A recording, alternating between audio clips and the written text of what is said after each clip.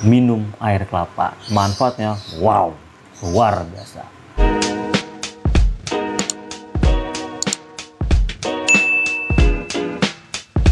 Assalamualaikum bro and sis. Jumpa lagi bareng gua di channel AA Bejo. Untuk kalian semua ada nggak yang nggak tahu atau belum tahu lambang dari gerakan pramuka. Hmm. Kalau ada yang sampai belum tahu juga, kebangetan ke mana aja. Kalau belum tahu juga, gua kasih tahu nih, lambang gerakan pramuka tunas kelapa. Kenapa ya? Diberi lambang tunas kelapa. Tunas itu cikal bakal. Anggota pramuka itu cikal bakal penerus bangsa kita, itu ya. Dan diharapkan ya mereka bisa memajukan bangsa kita ini sesuai dengan bidangnya masing-masing. Makanya dikasih lambang tunas kelapa. Nah, ngemeng-ngemeng masalah kelapa nih guys. Mempunyai jutaan manfaat. Wah, kebanyakan kalau jutaan ya. Nggak habis nih. nih. Waktunya nggak cukup maksud gua jelasin. Banyak manfaatnya dari si pohon kelapa. Nyiur. Nyiur melambai gitu ya. Itu daun kelapa ya. dari akar sampai pucuk si pohon kelapa itu wah luar biasa banget ya. Makanya eh, para prajamuda karang ini atau pramuka ini diharapkan mempunyai manfaat dari dalam dirinya sendiri. Untuk kemaslahatan orang banyak untuk kebaikan orang banyak untuk orang di sekeliling mereka gitu ya. Minimal mereka uh, peduli dulu dengan diri sendiri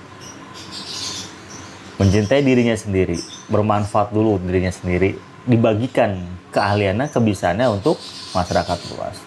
Nah, pohon kelapa ya guys, akar kelapanya ini udah jelas ada makanan namanya akar kelapa. Kalau orang Betawi bilang tuh celorot. Teksturnya macam-macam, tergantung chefnya yang masak ada yang keras banget gitu ya. Ada yang empuk banget. Nah batang kelapa gila yang segitu panjang gede ya ternyata bisa dibuat sebagai rakit dan juga jembatan penyeberangan guys. Tuh. Lalu daun kelapa daun kelapa tua itu biasanya kalau di rumah-rumah penduduk itu suka dianyam ya guys. Dianyam bisa dibikin atap gitu ya. Nah yang daun kelapa janur janur kuningnya itu itu bisa dibikin buat ketupat gitu. Kalau lebaran biasanya banyak ya. Dan juga suka dibikin kayak orang hajatan gitu ya. Apa namanya tuh? Ya bulu-bulu atau apa gitu ya janur kuning ya. Kalau janur kuning melengkung berarti dia sudah tidak bisa ditikung lagi loh, jangan ya. Itu kalau ada orang hajatan dibikin perhiasan itu untuk jambul gitu ya.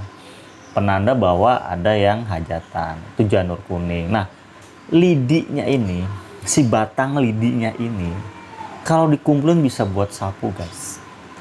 Luar biasa manfaatnya ya, guys. Nah, di dalam uh, batang kelapa ternyata ada makhluk ya organik organisme. Kayak ulat-ulat kelapa. Itu ternyata kalau di daerah timur sana itu dimakan enak katanya gitu ya. Tuh. Ya nggak kalah penting nih guys. Degan gitu. Kalau kata orang Sunda teh kelapa buah kelapanya.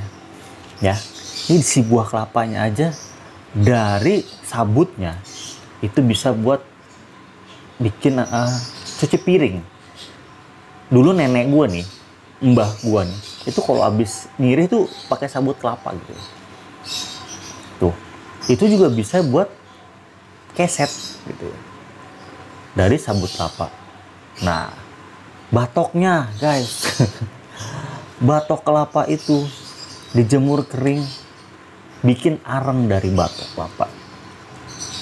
Ya enggak buat bakar-bakar apalah gitu.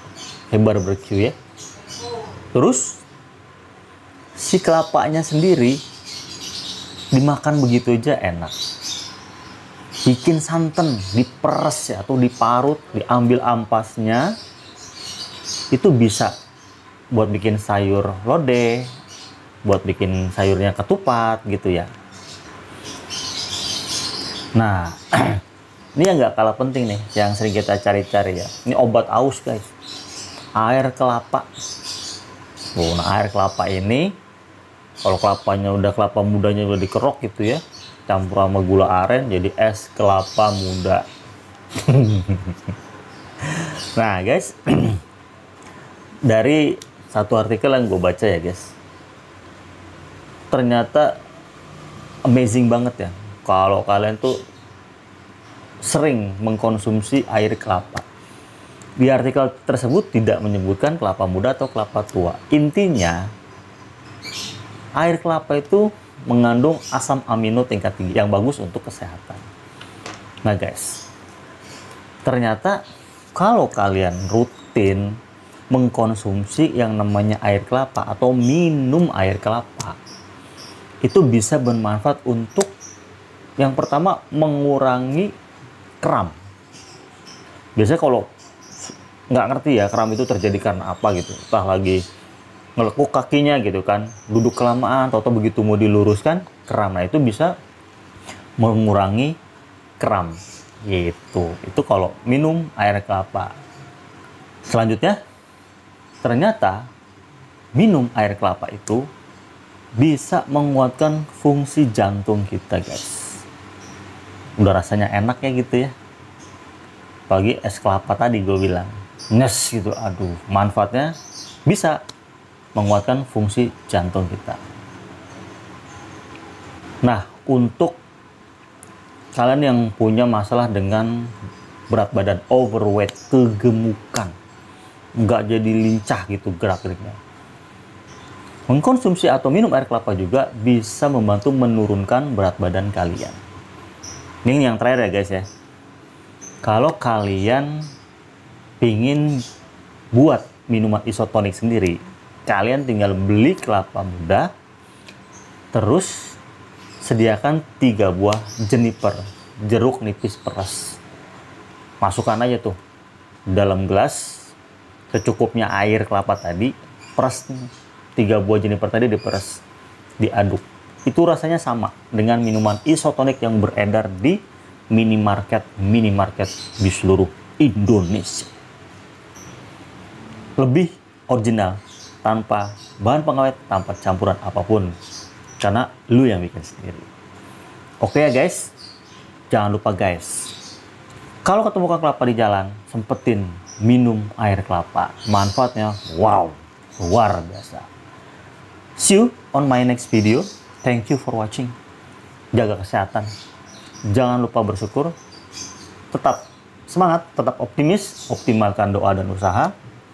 Sampai jumpa di video AA Bejo yang berikutnya. Semoga bermanfaat. See you. Bye.